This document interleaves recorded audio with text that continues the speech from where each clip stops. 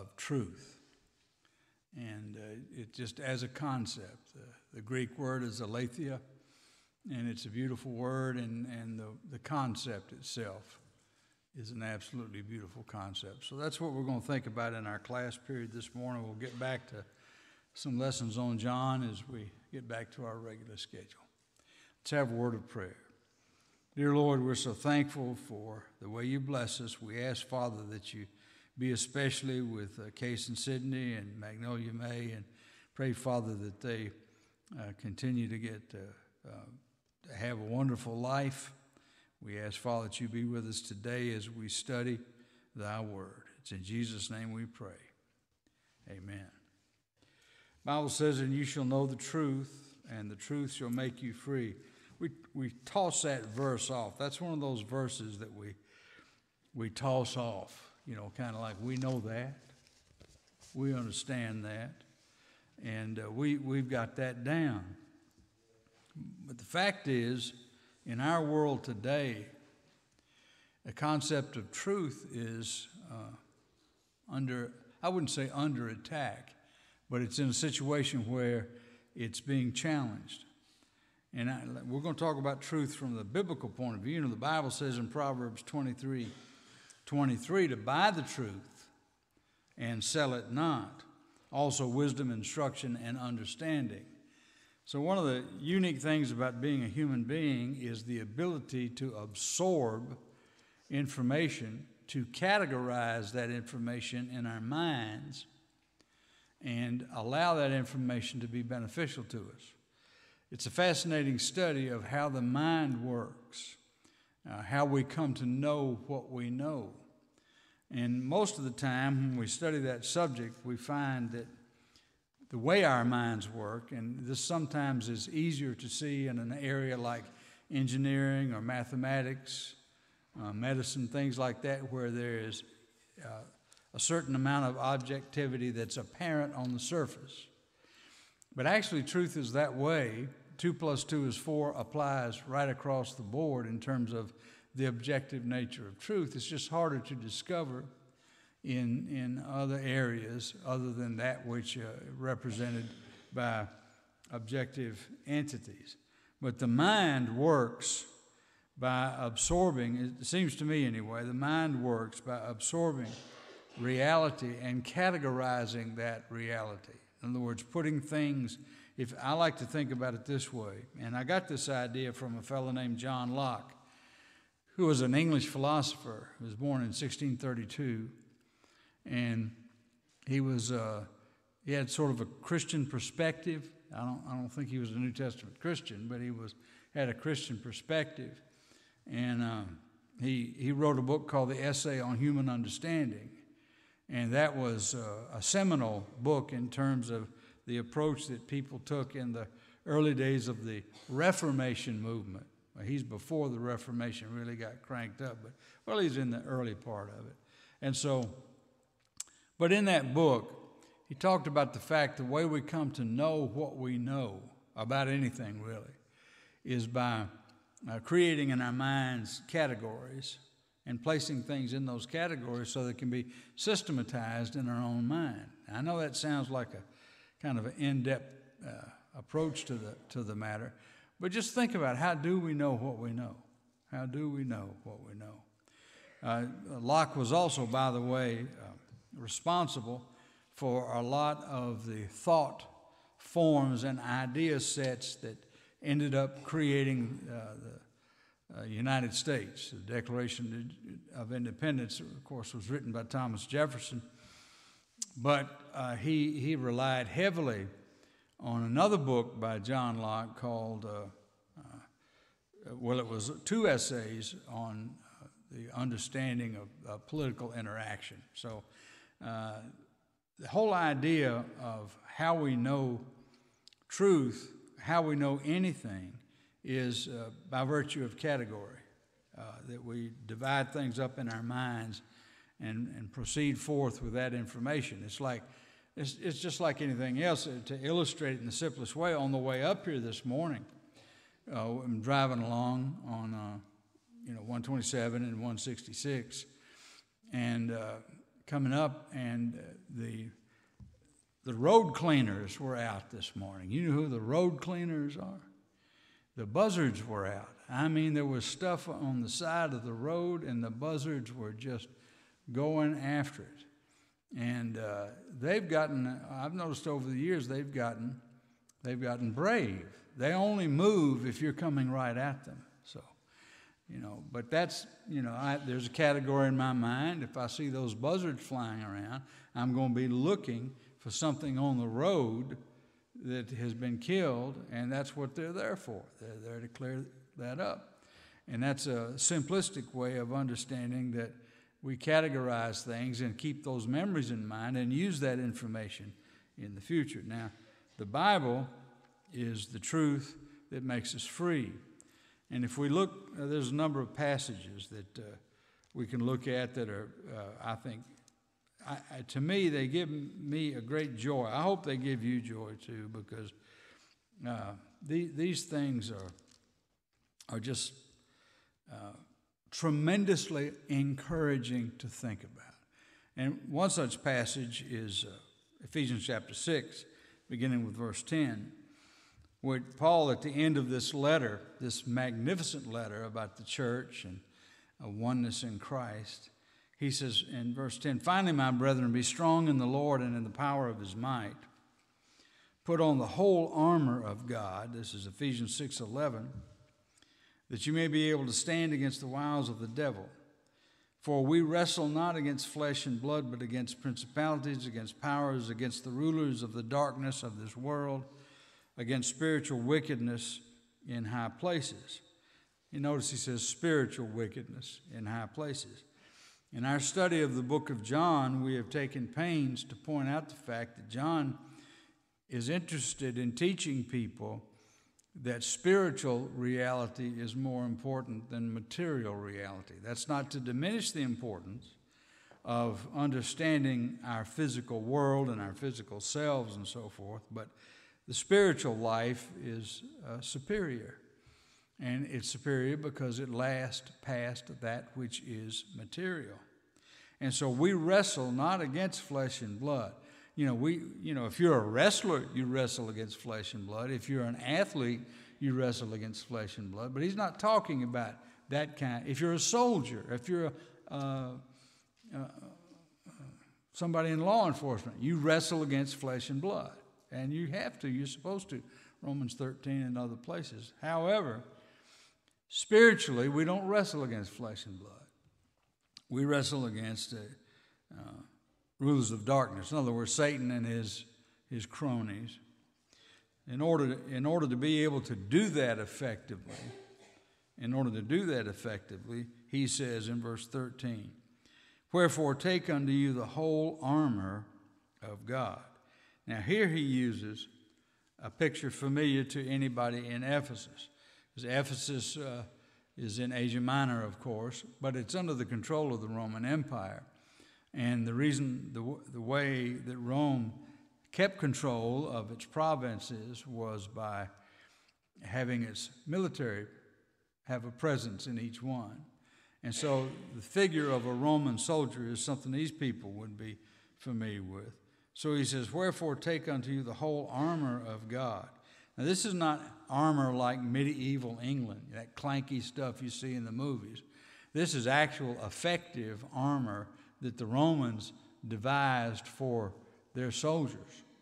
And this was stuff they could move in, this was stuff they could fight in, but this is also stuff that would afford them uh, the best protection that would be possible to have in those days and those circumstances. And it comes out in this passage Take unto you the whole armor of God, that you may be able to withstand in the evil day, and having done all to stand, stand therefore. Now, this is the thing in ancient warfare, based on you know what you read in the history books, since none of us were there, but in ancient warfare, it was the last man standing. The last man standing was the winner. And they knew that not everybody was going to make it through these battles. So, this concept of standing is a very important one and familiar to anybody that lived in that day and that time. So, he says, Stand therefore having your loins girt about with truth. Now, your loins girt about with truth, that part of the armor would cover the lower leg and the upper, the lower torso, so that that would be protected as much as possible. And this was generally done with, uh, sometimes it would be done with uh, metal plates, but oftentimes it was just done with heavy leather and that sort of thing, something that would deflect a blow, uh, diminish the uh, impact of a blow on somebody. So, so your loins girded about with truth and having the breastplate of righteousness. And so he's talking about using this figure of this armor, but he's, he's talking about spiritual elements associated with it. He, he's talking about uh, uh, truth uh, protecting you, your loins girt about with truth. Truth protects us. It's just, you know, we, we, we know that in everyday life, we know that uh, if we ignore what's true and right, we'll be in trouble. I mean, you know, it's, it's true that if you drive too fast, you may have a, an automobile wreck. You may wreck your automobile. If we ignore that truth, we get ourselves into trouble. Uh, if you use a firearm in an unsafe fashion, you might hurt somebody, you might hurt yourself. Truth. So, the loins girded about with truth and having on the breastplate of righteousness. You know, if you're a soldier, you do not want to get hit in the middle of the chest. Because, uh, you know, the middle of your chest, right over here, is your heart. If you get hit in the right place, and particularly a puncture type wound, you're, you're a goner. But what protects us? Well, righteousness. Where do you learn righteousness? Romans 1.16, for I'm not ashamed of the gospel of Christ, for it is the power of God and the salvation to everyone that believes, is you first and also to the Greek. For therein is the righteousness of God what? Revealed. The righteousness of God revealed. And so the truth reveals righteousness. And he says, Your feet shod with the preparation of the gospel of peace. Now, the gospel of peace is a description of the gospel which is revealed in God's word, Romans 1.16. Your feet shod, you know, if, you, if your feet get hurt, and you're in a battle, you're, you're out of business. You can't go anywhere. And, uh, you know, we all know as we get a little bit older, we, if our feet hurt, everything hurts just about. And so he says, Your feet shod with the preparation of the gospel of peace, the gospel of peace will help us. And then he says in verse 16, Above all, taking the shield of faith. Now, uh, not every Roman soldier carried a shield because it depended on what on what their job was, which role that they uh, were, were in, uh, involved in. But the shield of faith is wherewith you be able to shield, uh, quench all the fiery darts of the wicked. The, the, the shield of faith, faith comes by hearing, hearing by the word of God. The shield of faith is the faith that we learn and practice and make part of our lives from God's word. Now, I know you've heard this before and uh, you've studied all of this before, A group like this has studied their Bibles for many, many years. But this shield of faith that quenches the fiery darts of the wicked, if, if a soldier's job was to be sort of in the front lines and to deflect the initial blow of the enemy's darts, uh, arrows, arrows, and they could, they sometimes would shoot at each other in those days darts that had the, the ends of them were equipped with a substance that would allow them to burn. And so they'd have a literal fiery dart, a literal fiery dart. And the, the shield, there were shields, the technology of that day allowed for a shield to be designed and built that would quench those darts. And it wouldn't quench them just by stopping them. If you got it in the right place, you could stop it. But it would quench them because they would take uh, metal on the outside and put inside, uh, take a sandwich with metal on either side. And then uh, on the, in the middle between those two parts of metal, just like a sandwich, you would put wood and it would be a wood that would, that would soak up water. You know, like I can imagine, you know, there are a lot of woods that will absorb water, and you can prepare that shield for battle so that when it gets hit by a dart, a fiery dart, that it puts, it puts the fire out. Well, I don't know how effective that was, but based on the, the history that I've been able to read about it, of course, never seen one in action, thankfully, but to quench all the fiery darts of the wicked. What reminds us, however, though, that in our lives, the truth of God's word, and that's what Ephesians 6 through uh, 10 uh, through 18 is about. Our lives, we're continually under attack. Uh, not by people in this room, but by, by people in the world that uh, don't believe the truth and, and are not interested in the principles and the things that we live by that we gain from God's Word. And sometimes what they throw at you is a fiery dart. And how do you how do you defend yourself? Well, with a shield of faith. And that's that's what it's about. You know, this every day you, you run into a situation that people say, well, you know, I just, uh, you know, we got so much going on in our world today. This uh, this woke culture, you know, this cancel culture, and we have uh, this uh, the LGBTQ, whatever it is these days, whatever is popular these days, this kind of uh, crowd that uh, presents ideas that if you disagree with them, that you're a dirty dog and all of that, and um, you know, they're shooting these fiery darts. And how do you quench them? Well, you you can't you can't. Pardon? That's what it is. That's right. It's censorship. That's exactly right. And so uh, they want to censor the truth. And the only way to stand against that is to take the shield of faith and quench those fiery darts of the wicked.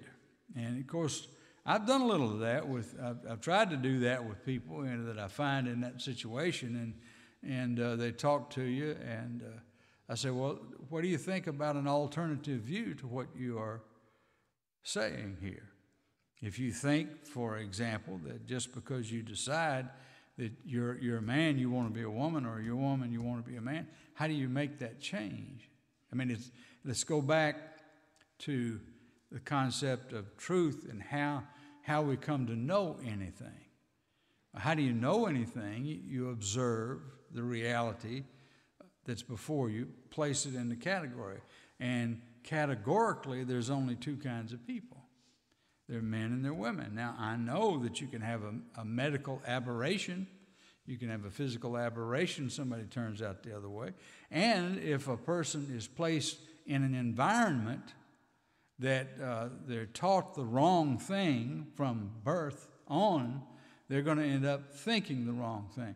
You know, how you, how you end up thinking what's wrong is to be taught what's wrong and keep on being taught it. So we have to stand against the fiery darts of the wicked. And then verse 17 take the helmet of salvation and the sword of the Spirit, which is the Word of God. So we have the helmet of salvation, uh, which protects the, the head, and you know, the head's of extreme.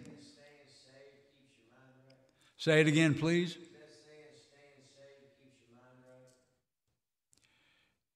I think the two things go together. Staying saved does keep your mind right. Well, you got to keep your mind right and stay saved, don't you? That's right. Fits together. But anyway, the helmet of salvation and the sword of the Spirit, which is the Word of God. But never forget, never forget that the tool that we use in our battles is not a physical one. You know, over the years of the existence of the Christian religion in its many forms, people have said, well, we, we believe what's right and true, and therefore we're going to fight for it physically.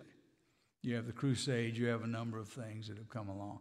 And we have people today in our world who, who do that. I mean, that's, that's one of the problems with the most extreme element of those in the Muslim faith. They, they believe in a physical warfare being justified in order to conquer the world and so forth. And Christians, Christian people of a Christian heritage have done that too uh, over the years, you know. And uh, you know, it used to be, uh,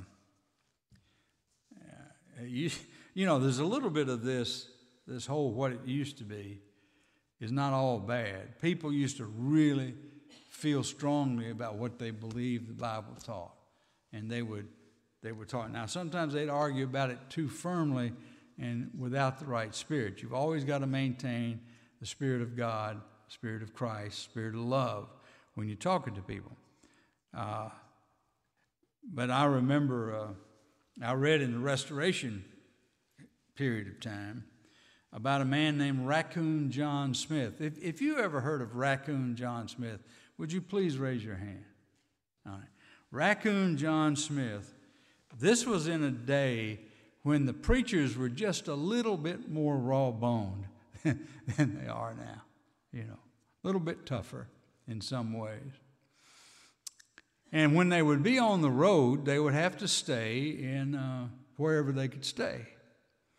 And the story goes, and this was told to me by Brother Earl West, who wrote In Search for the Ancient Order. There's three or four volumes of that. Brother West said that, uh, that Raccoon John Smith came into a roadhouse and uh, was sitting at the, at the bar. I don't, I don't know if he's drinking or not, but he was sitting at the bar having something to eat. And sitting next to him was a Methodist preacher. Have y'all heard this story? So he's sitting next to him is a Methodist preacher. And, and John, Raccoon John Smith was evidently a tough guy.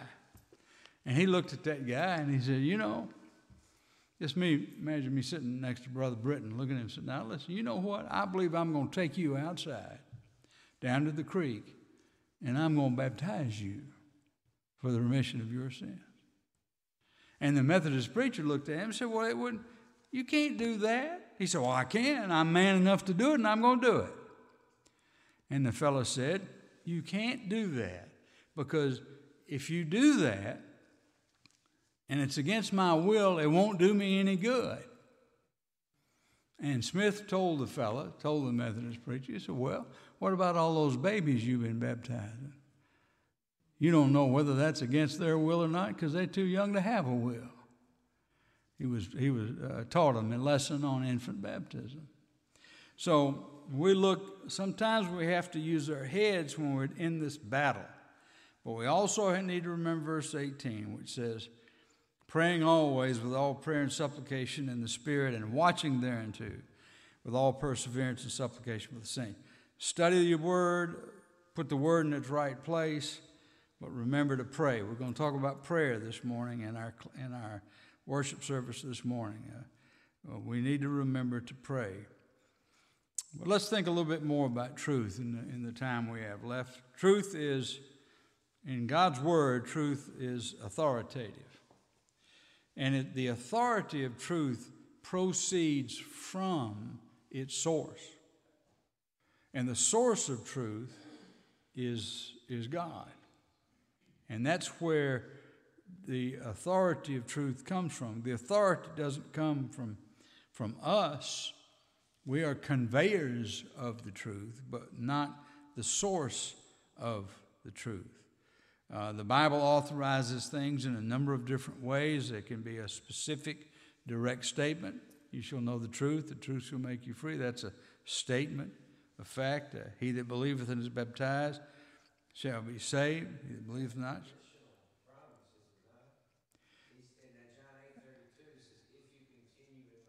That's right. That's right. It's all of it's conditional.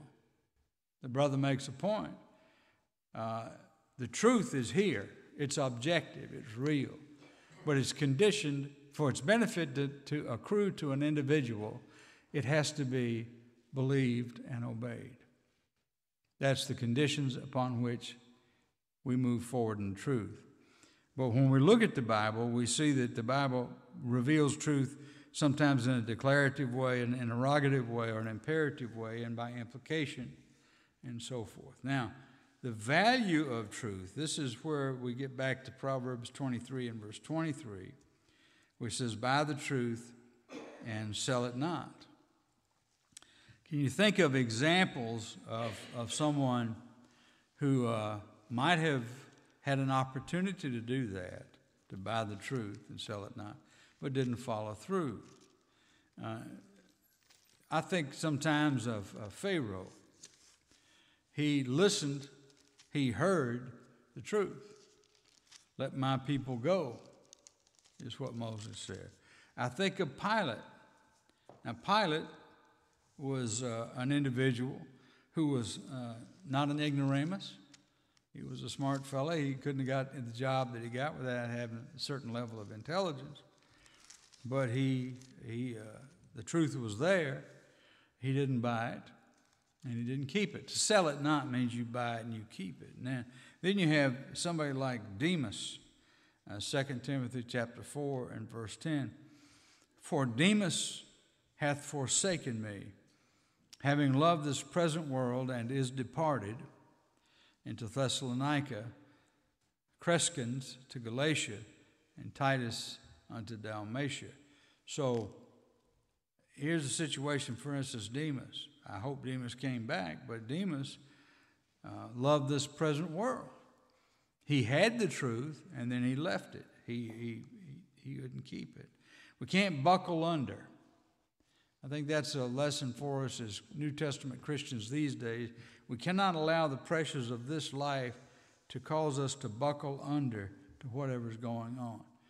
That expression that we all know in Revelation chapter 2 and verse 10, where it says, Be thou faithful unto death. See, those people were in actual danger of death if they, if they uh, went against the Roman Empire uh, too firmly. And so you, you know they couldn't do that. And so in Revelation chapter 2, uh, in verse, uh, let's see where I want to start here. Verse 8, uh, Uh-huh. and under the angel of the church in Smyrna write, These things saith the first and the last, which was dead and is alive. The, the introductory to each one of these sections in, the, in Revelation chapters 2 and 3, the introductory gives us some indication of certain characteristics of the Lord, the source of the word. He said, I know thy works, tribulation, poverty, thou art rich. I know the blasphemy of those which say they are Jews and are not, and are the synagogue of Satan. Fear none of those things which thou shalt suffer. Behold, the devil shall cast some of you into prison, that you may be tried, and you shall have tribulation ten days. Then he says, it's in that context that he says, Be thou faithful unto death, and I will give thee a crown of life. Now, that's not just a, a saying that keeps us faithful. If, when we set it in the, in the context of the history of the church at Smyrna here in Asia Minor, these people were in actual danger of, of persecution. Now, I don't know, I can imagine, I've tried not to, but I can imagine Sometimes it's forced upon us when we pay too close attention to the media. I can imagine us getting into a position where we are physically in danger. Somebody said, well, what if, what if the government comes in? Uh, for instance, uh, I was preaching a lesson on, uh, homosexuality. Well, it wasn't, whole lesson wasn't on that. It was just a lesson that included something about that. And uh, the next week, we were off of Facebook at Hobbs Street. Just, we're off Facebook. And when our guys, uh, they're not supposed to do that, by the way, in a religious, you're supposed to be able to say what you want to say, even if it goes against the, the current, uh, uh, supposedly uh, woke truth or so forth. What they said when we checked into them was, no, you were using, you were using recorded a cappella music without the copyright. And uh, our guys that were in charge of all that, one of the elders and a couple of the technical guys like y'all got here, they said, no, we don't have, we don't use any recorded a cappella music. That's our people singing. Well, they didn't believe it. They didn't believe that you could have singing like that, like y'all singing here is terrific. You, they didn't believe you could have singing like that without it being recorded. And so they went through the machinations of proving to Facebook that no, that's just the way it is. And evidently, somebody finally found out that uh, in Limestone County and probably in Giles County too, I'm sure, that you could go to Walmart and get up a singing on any aisle and be enough people that knew about a cappella music that could sing with you and make a joyful noise. They finally gave us our, our our license back or whatever you call it. And you go, you know, we, we pay it all. So what you have, you, you buy the truth and you sell it not. But see, that's a little persecution. That's nothing. That's really nothing compared to what some people have had to deal with in history. And that's what, that's what John's trying to prepare. Jesus is trying to prepare through the writing of John these people at Smyrna. Be thou faithful unto death. Uh, there, and, and don't miss this now. And I'm not overstating the case. I've been in conversations with people who are from the extreme elements of uh, culture that's completely contrary to the will of God. Not only on the left, listen to me, not only on the left, but on what we call the far right. And their view is people who disagree with us, whether it's out on the right or the left, whichever direction, people who disagree with us ought to be shot. And you've seen in the media, you've seen evidence of folks, you know, you know, here's a bunch of people that I don't agree with, and they're probably doing something very, very wrong. What are we going to do? Well, we're going to run over them with a truck. All right? Pardon? Murder. Murder. Now, see, we can't do that.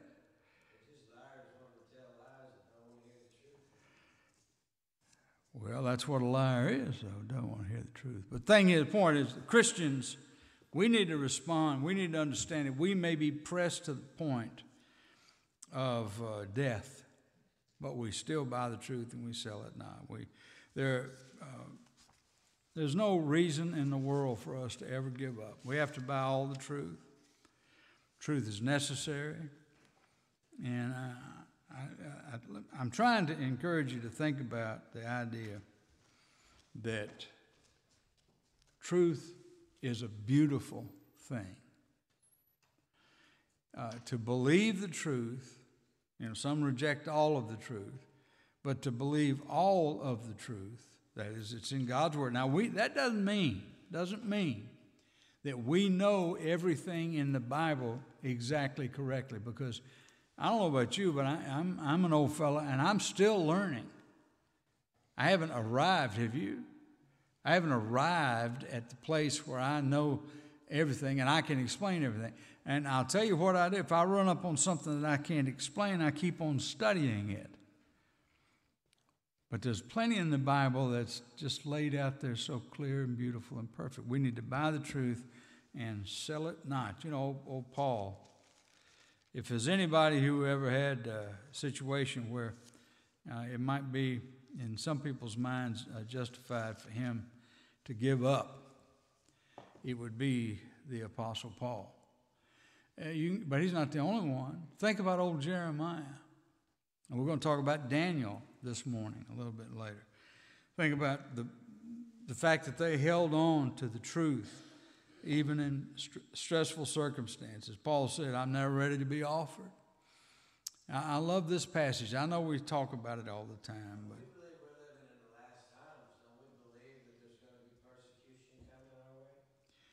Always has been. The last time started at the cross. The last time started when the church was established.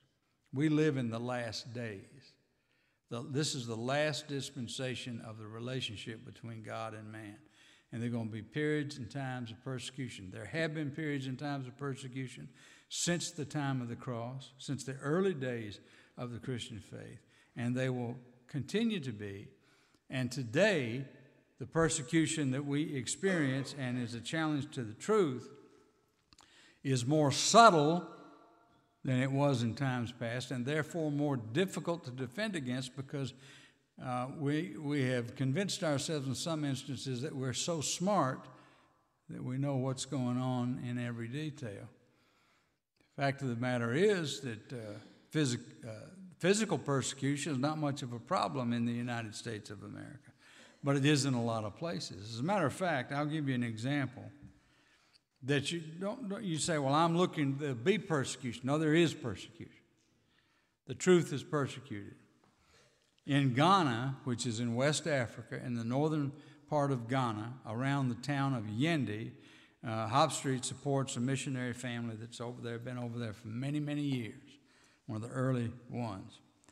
There was a, uh, usually what, what's done in that environment is that a native person, and these are very intelligent people, these Africans, a native person is trained in the ability to preach and teach the gospel of Jesus Christ.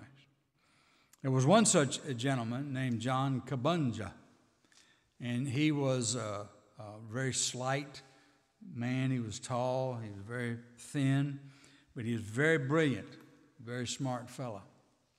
And uh, he would go into the villages and uh, preach the gospel of Jesus Christ.